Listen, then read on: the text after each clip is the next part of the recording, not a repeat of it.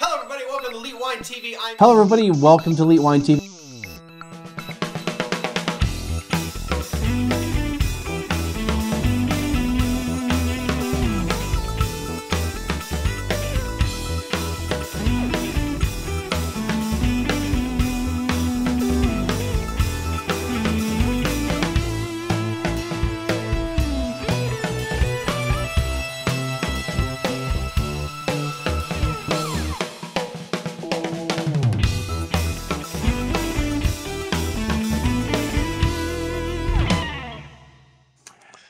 Everybody. Welcome to Elite Wine TV. I'm your host, Mark Fusco, here for another special edition of the show. I've got um, uh, Joseph Bouchard uh, here with Chateau Poncié uh, here in Fleurie. Did I say it all pretty good? Hello, hello.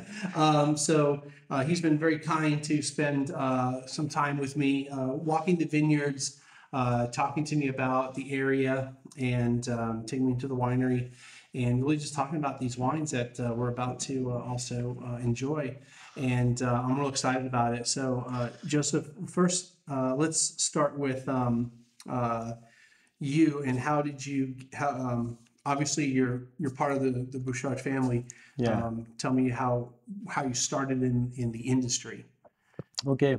Um, hello, everybody. I um, start the story in 2009, and uh, the Henriot family buys this estate in uh, 2008. So um, I'm coming to, to restart the, the vineyard, to restart the, prop- the property, to make a new new plantation and um, all the start of the of the vineyard.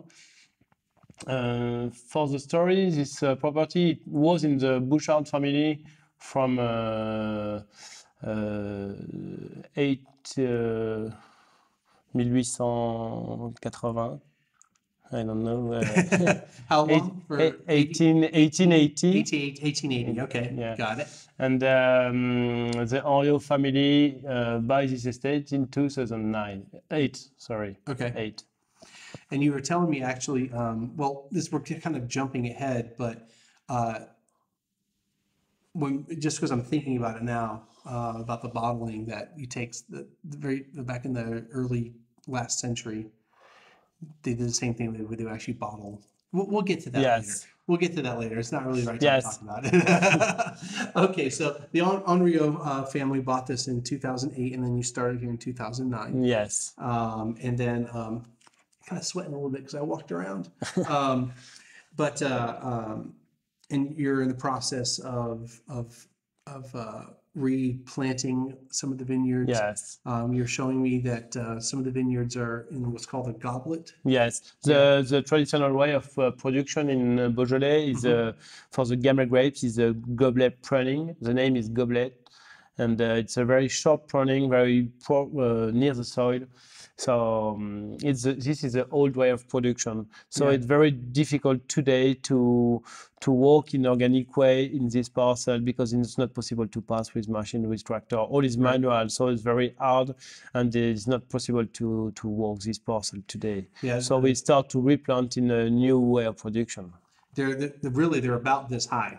The the, the vines. Yes. they're- so if you can picture the the, the a, a vine that's only about this high, and that you have to bend over all day to work the vines, whether it's picking or pruning or, or taking care of it, it's very in English we call it backbreaking work because you're yeah.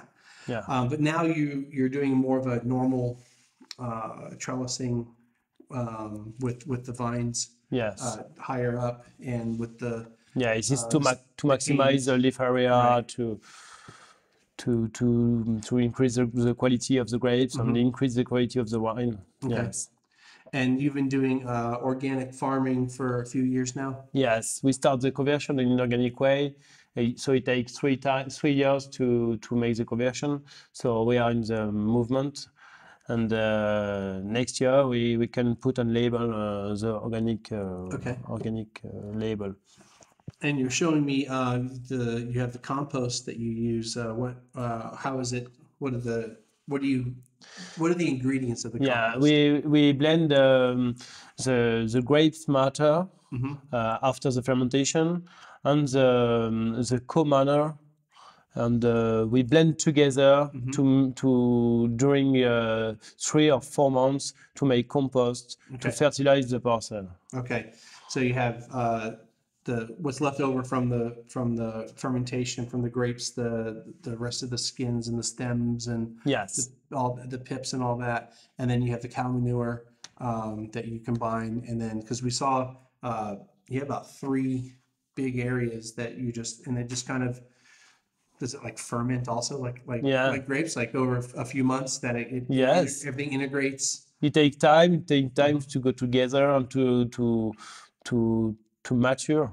okay Yeah. and then you you'll spread that into the vineyards to, to Yeah. help to, as, as a fertilizer Yes, because fertilizer. here the soil is only granite sand and then granite little rock, so it's very very poor. Or the, So it it need organic matter in quantity. So we can put the the compost is a natural organic matter. right It's the best fertilization that we can put into on the vineyard. right um, so you've you've got uh, how many hectares of vineyard We have 45 hectares. okay So uh, we have a, a, a program of plantation, of free plantation. So yeah, we we have five hectares in, not in production okay because it takes time. They are in a repos uh, during two years before planting a new parcel. okay So um, we have uh, in production we have four, 40 hectares. okay and you're also showing me in the vineyards um, the, the newer uh, parcels not the parcels the newer uh, uh, what do you Exposure? uh, the that you have a you putting wheat Yes, in between yes. the vines so you have like a cover crop so kind of explain why Yeah, because uh, the the soil is very poor.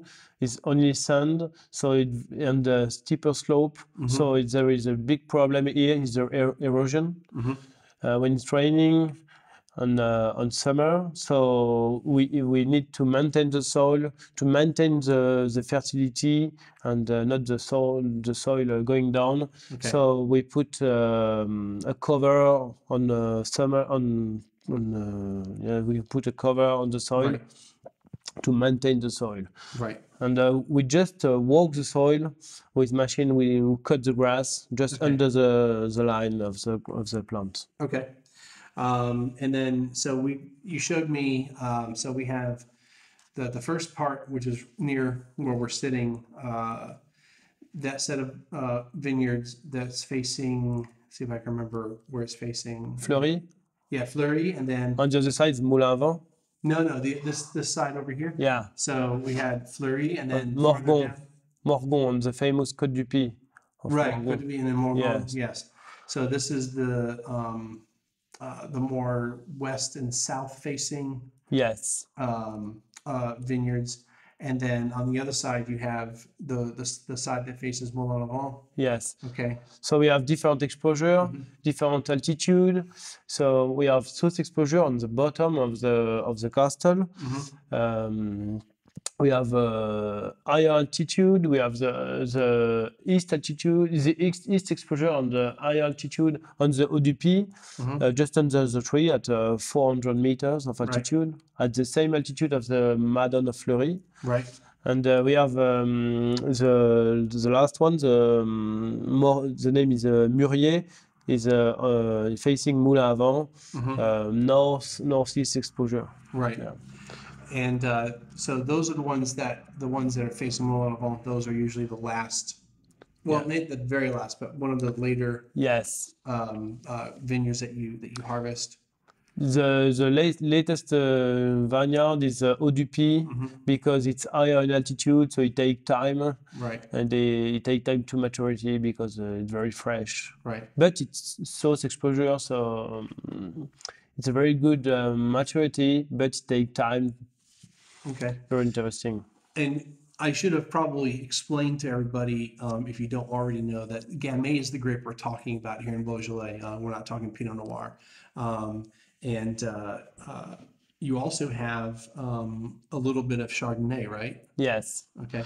we have uh, just one parcel on, on Chardonnay. We plant in, uh, in 15 because in this parcel, it's a bottom of parcel of a hill. So um, by the erosion, the clay going down. Right. So it's now the clay is on, on the bottom of the hill. So in this parcel, we prefer to to to, to make um, a challenge, a test to to planting Chardonnay on this parcel Okay. to see what Chardonnay. There is Chardonnay in Burgundy, there is Chardonnay in south of uh, Beaujolais, but uh, why it's not possible to plant Chardonnay in Fleurie? So we start to to make uh, this parcel in Chardonnay, and uh, we plant uh, today. We have two hectares, but not in production. Two Right. hectares um, in Chardonnay grapes. Uh, so the appellation of Chardonnay grapes here is, the, is uh, Beaujolais Village Blanc. Yes. I mean, not that if we say it's that close, but it's not very far away. I mean, we're you Yes, know, we are uh, from Macon on the Solutré on the Pouilly-Fuissé. We, we are we just have uh, I think uh, five kilometers. Um, yeah, it's not very far. yes. Yeah, so not that you couldn't do Chardonnay here. I'd be real interested in a few years to to, to see how that turns out. Um, so we uh, we walked the vineyards and we went all the way up to the top, and I can tell you that the view is spectacular. It's amazing.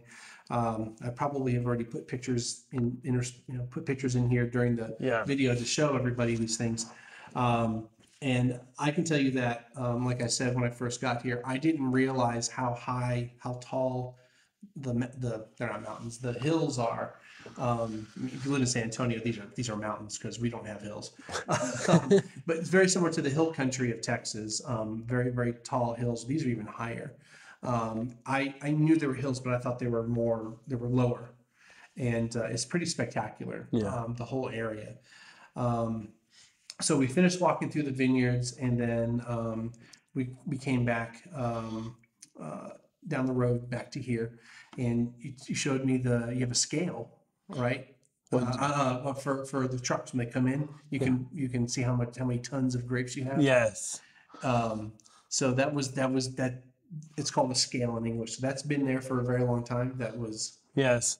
The ma- the machine to AV the Mm-hmm. yes. We, we we want to use this machine because it, it was here. I don't know how many how many time, but it's it, it functions today. right. Yes, so we can use, we can heavy the, the harvest, and uh, with this, I know all the, the the heavy of the harvest of each parcel that I have in the winery. So I know the, the weight of each tank. Right. So it's very interesting for me. So for the, the fermentation or the vinification. Yeah, I, I stood on it and I didn't break it. I'm not. I'm not five tons. um, I, I, I, so I, on a personal level, I'm trying to lose weight for the past two or three, well, about three months, and I've been very successful. But I'm sure I gained a lot of it this last week, so I can tell I've definitely. I'm, I'm wearing the big pants today. Um, but uh, anyway, so we did that, and they showed me I have a park over here, a little uh, a, a park. Yes, Yeah. the, the park. Yes, we have some uh, into the park in front of the castle. We have some uh, some animals. Mm-hmm. We have some sheep. They, they maintain the grass very short, Yeah. and we have some some uh, chicken or other animals uh, Right. into the park. Yeah. Yeah, this, I think the sheep were sleeping today, but I heard the rooster and I saw a little chicken way out in the distance. so Yeah. That was kind of cool. Um, and then um, we went over into, he showed me the castle and uh, you, told, you told me that there's really not much, um, you're not really using it, but you're, Yes. you're renovating it, right? You're Yes, we fixing- start the renovation. Yes. Um, and then um, we went to the winery and you showed me that you have uh, both steel and concrete. So kind of tell me about the tanks and, and the process once the grapes, once the grapes are weighed, what do you do next? Yeah. Um, we we make the harvest manually in little case. Um, 12, 12 kilo around per, per case. Okay. and uh, we put all these case in, in tractor. We heavy the, each tractor, and after we we we put the case on a, a selection table with manual selection. Well, six six people to to to select uh, the, the good grapes or not. Okay. And uh, after we mm, we make a, cho- uh, uh, a choice if we distem or not Okay. and um, it depends of the maturity of the grape, uh, maturity of the grape. And um I I like to make some um, some tank with um, an half of the production with um, with uh, this stem or not. Okay. So it depends of the maturity, but um, for good um, aer- aer- aeration during the fermentation, they need some some uh, some rate. Okay. Yes. And uh, did you say that, you, um, if I remember correctly, uh, in the tanks, you'll usually have the grapes with the stems on the bottom and the grapes without the stems on top? Yeah. And that helps with the fer- that helps with the the fermentation. Yes. This helps the fermentation because there is um, place for for aeration into the grapes. Okay. on the bottom. And on the top of the of the tank, we mm, we make uh, punching by uh, feet. Right. Yes, we make pigeage. The name in French, Pigeage, pigeage, yes, by feet. Uh, in the in the middle of the fermentation is uh, one or two times per day Okay. in the middle of the fermentation, and one time at the at the at the end. Yes. Okay.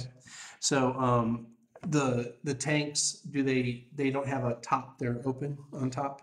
Yeah. The, didn't talk yes, about open. Right, yeah, that's- they're open. Otherwise, it's going to be hard for someone to get in there. um, so, because of this, um, this is definitely there's definitely no carbonic maceration really No. going on, right? So you don't have a closed tank to do anything. Yeah, we make the the, mm, the traditional uh, fermentation. Right. We find into the um, we find in, into the the, the the the winery when we buy the estate in um, in a corner uh, we find an old machine an old distemmer Okay. uh, today is, is, is in uh, the grenier is on the top but uh, that's the reason that for the past I think uh, 200 uh, years past in the past the distem so there was no maceration, uh, carbonic maceration in the Beaujolais for the past Right. Yeah. Um, and and this is really I, I mention this more so that people understand that not all Beaujolais has carbonic maceration. yes Um, I mean, it's it's really only I to say it's a small. There's there's a very large production like just the regular Beaujolais Yeah. uh, for the Nouveau and all that. it depends of the product that we want to to, to make yeah, um, so yeah. Just I just wanted people to understand that not not all Beaujolais has carbonic or semi-carbonic maceration, um, which um, if you also to explain to some of my viewers, because not everyone is a winemaker or in the industry. yeah Carbonic maceration just means you're in a closed tank and the grapes uh, naturally crush each other. Um, and then there's a carbon dioxide cap and it helps keep the oxygen out. And there's it, it produces a different type of flavor profile. Um, and that's why Beaujolais Nouveau tastes the way it does. Um, it, very fruity and very bubblegum and banana and all that kind of stuff. Um, so then uh, you go through that and it is about 12, you said about 12 days total Yes. for the fermentation? 12 yeah 12 uh, Okay. 50 days yeah Okay, and then uh, once you're done with that, uh, it goes through. Did it go through? Does it go through the malolactic during that time, or is it after the 12, After, After twelve. yes. Okay, and then once that's finished, um, you'll take. Uh, you you do take the pressed juice and then the free run juice. Yes. And you do combine them. Okay, so and just also to explain, because sometimes I don't explain wine making a lot. There's with red wine, you'll have um, the from the regular just natural crushing. Yeah. Um, you'll get juice that's called free run, and then then you'll have what's left over, and then you'll press it again to get the rest of the juice. And some people separate it, and other people combine it, and you combine Yeah. the two the two juices.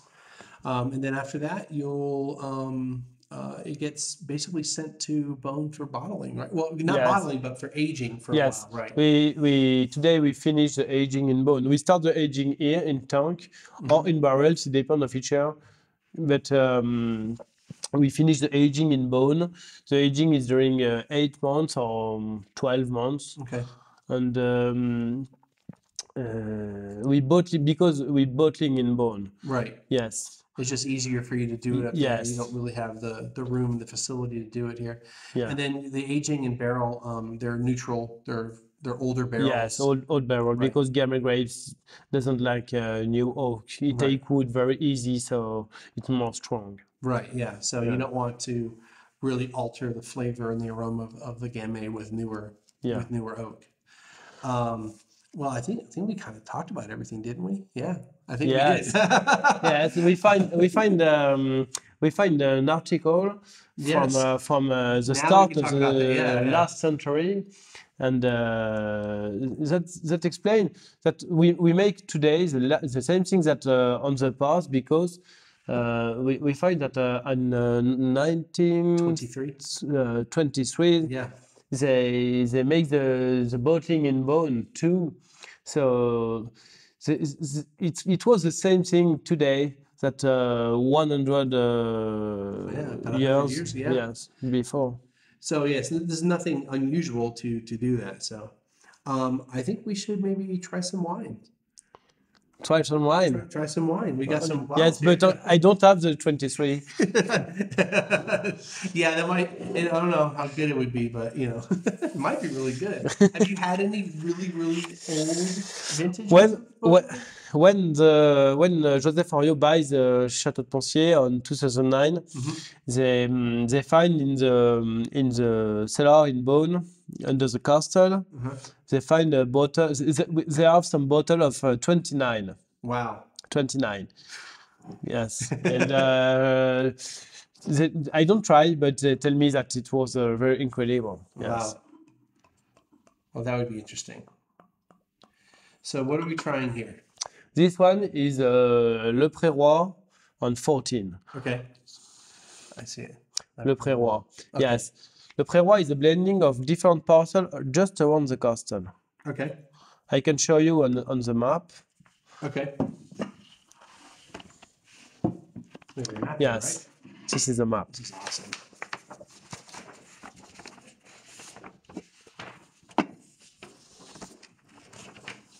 So Le Pré Roi is a blending of different parcels. This is the castle. This is Okay. uh, the winery. Okay. And Le Pré Roi is the, the parcel under the park. This parcel just uh, on the, the sides of the two sides of the, uh, the tree alley. Okay. And uh, this parcel, Okay. the parcel just under the, the castle. Very nice. This is an awesome map. Yes, this is a map on uh, uh, 1980 Okay. when the Bouchard family buy Château de Poncié. Okay, got it.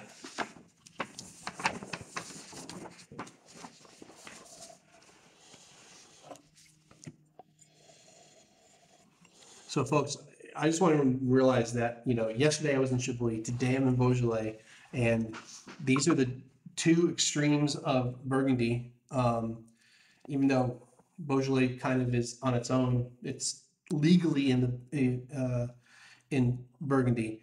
These are the two things of Burgundy I love the most. Um, and I told Joseph that you know Chablis is, is, is what I love of Chardonnay more than anything else. And while I do like Burgundy, and this trip really, really has has uh, been very enlightening and very eye opening, and I drank a lot of Pinot Noir and Burgundy and Chardonnay uh, the last week, pretty much. Um, I, I love Beaujolais. I love everything about it, the smells, the the tastes. Um, I, I just think it there's so much expression from from these wines. So I'm super excited to Yeah. to be here and, and be able to experience this. Beaujolais area is very amazing. Beautiful place and uh, It is it is absolutely beautiful here. I I, I was totally un, did not expect how how nice it was going to look here. That's the reason that the Bouchard family buys this estate in uh, in the 19, in 1980 because um, in Beaujolais there is a very uh, a very good terroir. The soil is very very beautiful Right. and the Gamay grapes is very good.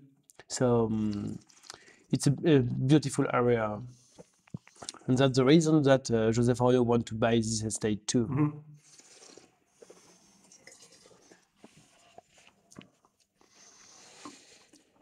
What I love about Beaujolais in general is just this explosion of spice and there's an earthiness to it. Um, there's a rustic um, quality to it. Um, there's, I, I just find it. It's, it's not that it's more complex or or than, than Pinot Noir, but it's a different complexity. Um, and I've had some Pinot Noirs that are pretty amazing too. So I don't want to ever anyone ever think that I'm putting down Pinot Noir is, a- is a grape in general. Yeah. Uh, my, my favorite expression still is probably Oregon, and then after that would be Burgundy. Uh, California, there's definitely some good California Pinots out there, but my my personal preference, or I'm not, I don't really care for a lot of Pinot Noir from California. Then again, a lot of the Pinot Noir from California I've had is very mass produced Yeah. and it's no. Um, but uh, you know, Beaujolais, I just I think it's great. Also, it's just um, again, remember, it's not the same grape as as Burgundy, but it's it's as far as close to the area, price point, it's definitely a great alternative um, to the very pricey Pinot Noirs up the road. It's fruity, hmm very soft tannin. Right. Yes. That's the reason that we like the, the punching by feet because uh, it's very soft extraction. hmm Oh, this one is 14. 14 is a very fresh year. Yeah. I get lots of floral out of it. I get lots of dried fruit. Um, uh, not not not like dried fruit like um, like you get out of an Amarone or something like that, but you know drier drier expressions of the fruit um, and just tons of spice um, and just you know uh, uh, the expression that we use sometimes in English is uh, Christmas spices or Christmas okay. uh, uh, spices used for for baking uh, Christmas items, um, and this is just spectacular. Let's just talk about this year's harvest because um, we we did talk about that up in the vineyard. Um, what happened? Um, it was in June and July. What happened here? Yeah, it, um, 14 is um, it was a an easy year, but because it's raining, there is sun, raining, sun, very easy, but it takes time. So the harvest is very later on uh, on 14. So um, it take it take time, it, but uh, it was very interesting, very beautiful maturity because very complete maturity. Um, the grapes take time to to to go to the best maturity. Okay. yeah. Did it? Um, was it a later harvest for you in fourteen? Um, I think it's uh, 16, 16 yes, uh, at the the end of uh, September. Into September. Okay. On the earlier, it's uh, 2009. Uh, 2009, yes, in Okay. August. Okay. And uh, wow. August, yes, in August. And um, on 15, it was in Mm-hmm. August too, uh, 28 in August. So, um, Right. yeah. And this year, when and this year we start um, at the start of September. okay, Yes. and then this year you had some hail, right? Yes, we have two times a big hail that uh, it destroy um, a big part of the production. It destroy the seventy per seventy percent of the production. Yes. So very small production this year on seventeen, but very good good in quality because um, very beautiful maturity. Right. so it's a stress in what for water, but uh, very very interesting. And is hail a a something that's common here in Beaujolais? Is it something that happens very very um, Very often? often, yes, Like- because last year in in uh, 16 we have the the hail too. yeah. Yes, but we are we are lucky because all the village of Fleurie, so one 200 meters, Mhm. it was very already destroyed. There is nothing, Right. and here we have a, a, a harvest. Right. Yes, normal harvest. Yes. And um, And but this year, this year all the um, the, the Fleurie area was destroyed, Mhm. and the Moulin à Vent too, right. Moulin à Vent Chénas was Right. destroyed too. Yes. Um, and then did you have any of the similar problems in the wintertime that your neighbors up in Burgundy and Chablis had with with the frost? Or No. you Here we don't have frost uh, problem because we are uh, in the south of Okay. the Burgundy. We are here. The climate is uh, more more more dry, more Okay. thick, and um, we don't have the the, the frost uh, risk. Okay. here. Well, that's good at least. yes, but yeah, the, the, the we have the hell and the the dryness. Okay. Yes. Right. This is awesome wine here. We are going to taste the same one, but on 15. 15. Okay. Yes. So 15 is very particular year because very, very dry, very, very hot. Mm-hmm.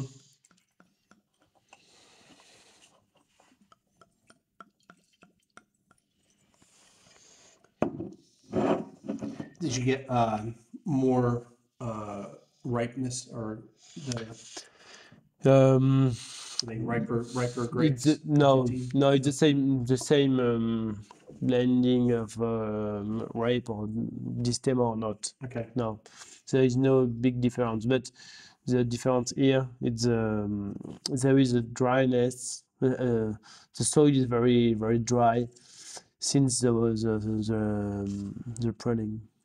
The, um, in in April and May, Okay. there is no water No water, right? Jusqu'à until the, the harvest. Okay. So no rain from May until Yes. till August Yes. harvest. Yes, so that's the reason that there is this concentration, this um, extreme maturity. Okay. It's it's a beautiful uh, millésime, but it's not a normal millésime for the Okay. Beaujolais. He's saying vintage or year in French, just so you know. Yeah. I know enough to know what. what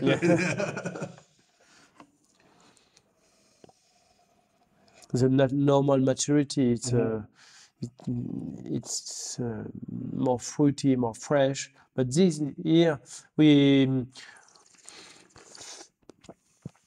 Uh, i- i- it's like a port. It's like a port wine. Uh, Port? Okay. yes. Yeah. It's amazing. Yeah, I can see that actually. There's a richness to it. Um, I mean, we're talking the same areas, just a different year, but there's definitely a, a, a richer um, quality to it. They, um, uh, the fruit is actually more prominent. Um, it's not as dried. It's actually fresher. Um, yeah, it's not. It's the fruit's not as dry. It's it's it's Yeah. a it's a fresher, almost like you I you can say juicier wine. Um, yeah, absolutely.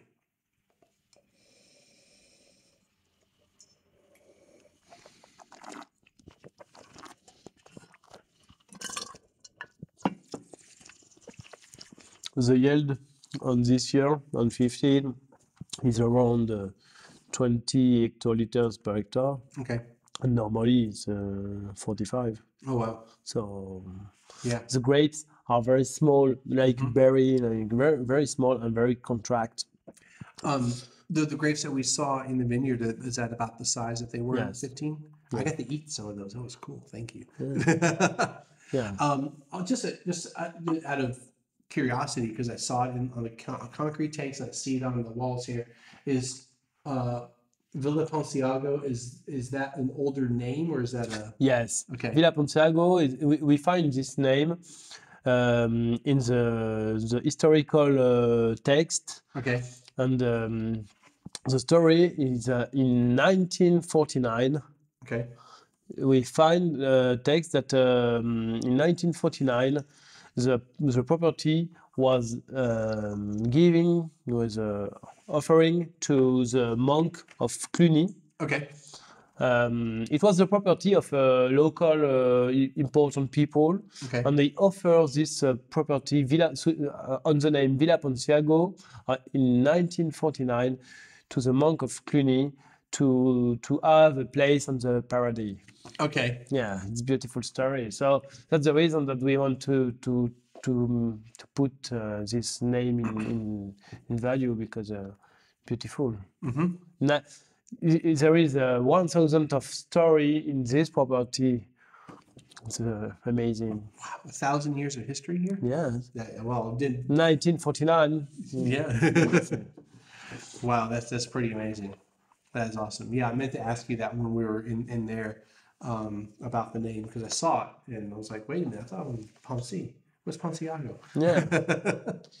And today we, we want to, to have uh, Chateau de Poncié because he, he, he- it's better to have uh, to to put this castle in the, Right.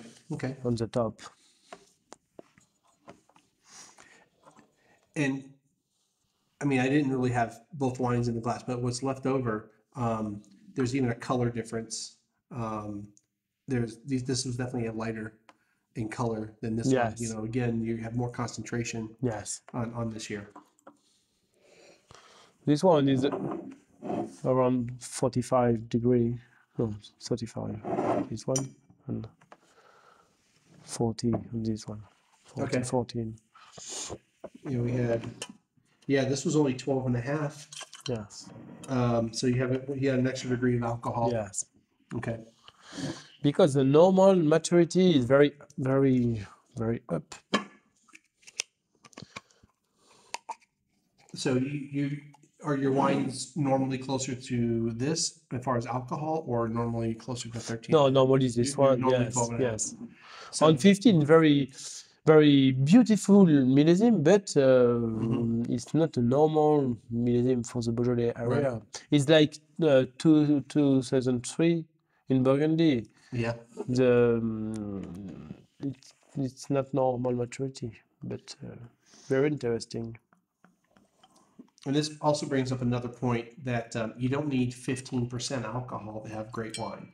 Um, I mean, most the wines of, of France in general, especially when we're talking uh, uh, longer time ago, um, before things got warmer and maturity and grapes got more mature, um, 12 and a half, 13% is, was normal, you know, for, for alcohol. So you don't need high, high alcohol. I mean, that's, it, it's, it's a function of where you're at in the world. I mean, you're, what, what nature's giving you that your grapes are going to get to a certain ripeness level or a certain sugar level to give you that alcohol. Um, but yeah, you just, it, for, for those of you that are used to seeing 14, 14 and a half, 15 and higher on the percentage, here's a perfect example of you can get awesome wine that doesn't have a lot of alcohol and you're not tasting the alcohol. Yes, And that's what I really like about, No, it's, it's about really wines from this area.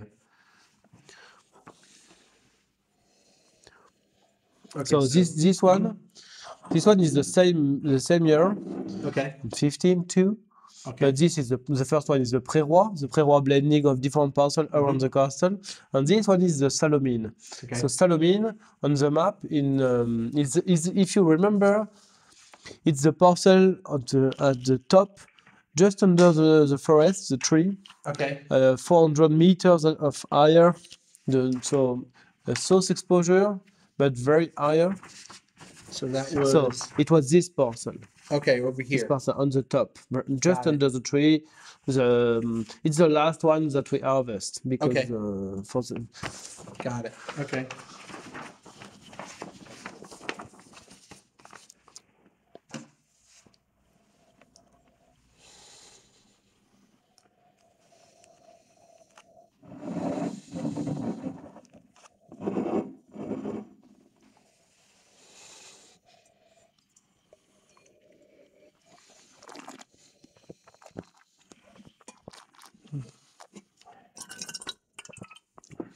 Lots of dark fruit on this. yeah.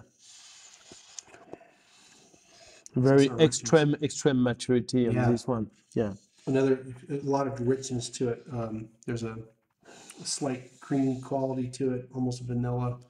Um, almost, not quite, because we're not really talking new oak here, so. But It yeah, seems- there's, a, there's a cream quality to it.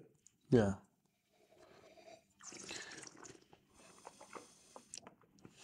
It's like a, a fruit tart or a fruit Mm. cake.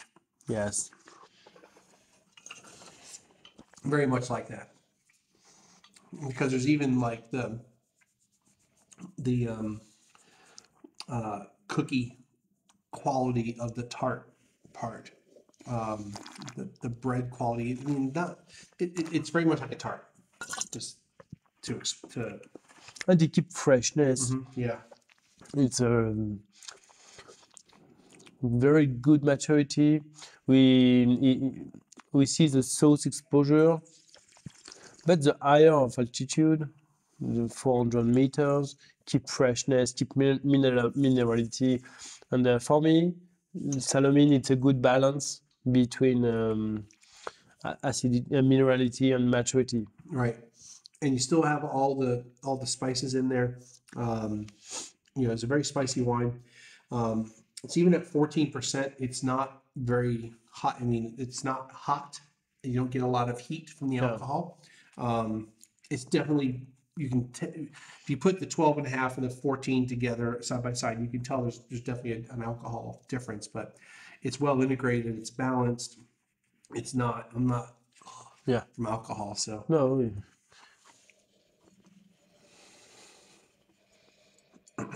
we- want to finish the glass.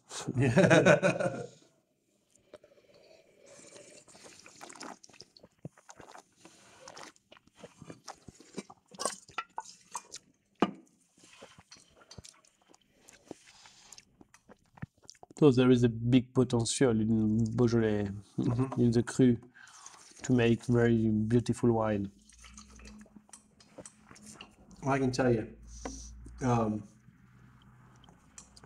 Cru Beaujolais is, is, is the way to go, um, or at least at least the Village level. Um, but I love the Cru Beaujolais. I mean, they just the the quality and the and that, that you get out of the wines is incredible. All the ones that I've had um, from all the areas. So, um, and I'm real excited to to be here and experience it for you know in person. So. Yeah. Um, I think we've pretty much covered everything. Sorry. I think we've, I think we've, I think we've talked about everything. Yes. Yes. Is there anything that you want to say No. that maybe we haven't uh, talked about? I think we, I think we did everything. Yes. Okay. We make, a big, we make a big tour. We visit the winery. We see the. We don't see the the sheep, but uh, No, yeah, that's okay. No, I might see, I might see them on my way out. Um, Joseph, I, I, I want to thank you yet again uh, for your, uh, for your kind hospitality and, and taking your time out of your day to, uh, thank you too. to work with me um, and uh, and show me this beautiful area, your beautiful winery, uh, the land that you have, and uh, experience these incredible wines uh, with you. And it's it's absolutely an honor to do this. And I just want to thank you. Thank you. again. Thank you too. very much. You're welcome. Um, well, folks, that's going to do it. We're going to wrap this up. And uh, as always, I want to thank you all for stopping by. Uh, click the links above to friend me up. Uh, you can click the link below uh, for, for more information about the winery. And um, that's going to do it. Uh, again, thank you all for stopping by, and we'll see everyone again next time. Thank you.